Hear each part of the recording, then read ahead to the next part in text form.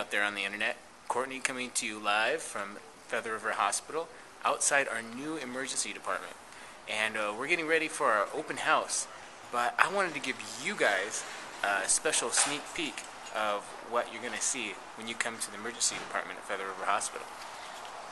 So we're standing outside here the main entrance. You can see all the stonework on the canopy.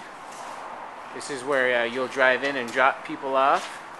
And let's go uh, take a look inside. It's really exciting. There's some really beautiful.